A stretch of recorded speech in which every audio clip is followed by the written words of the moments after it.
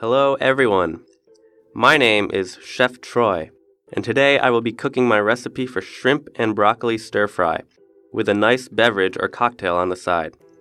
So, the first thing you must do is peel and devein the shrimp to give them a nice clean taste.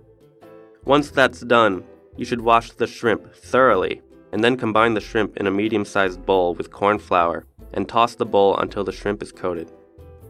After that, you should wash and then cut the broccoli into bite sized pieces and some red onions into thin slices. There are optional ingredients you could add to this recipe, like bacon or sausage, which could add to the flavor, but they are not the healthiest options. If you are a vegetarian, you can also consider adding some mushrooms as well. Next, you should heat a skillet with a medium flame and add canola oil to the skillet until it is coated with the oil. After that, you can add chopped ginger and garlic and let that cook for about 30 seconds. After 30 seconds, add the shrimp to the skillet and cook for approximately 3 minutes or until the shrimp looks finished. After the shrimp is cooked, you should remove it from the skillet and then add more canola oil to the skillet and cook the broccoli and onions. While that is cooking, you can make the sauce.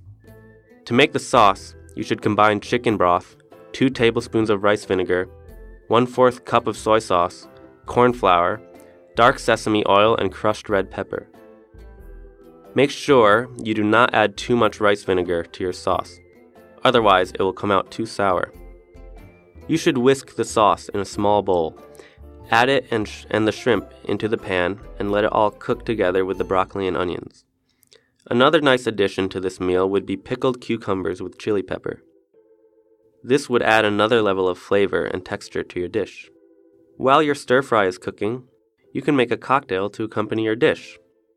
If you do not drink alcohol, then a nice glass of lemonade would be a suitable accompaniment. But if you want extra kick with your meal, you can make a mimosa by adding equal parts champagne and orange juice into a champagne flute. And if you still have room for dessert, mint chocolate chip ice cream is my favorite.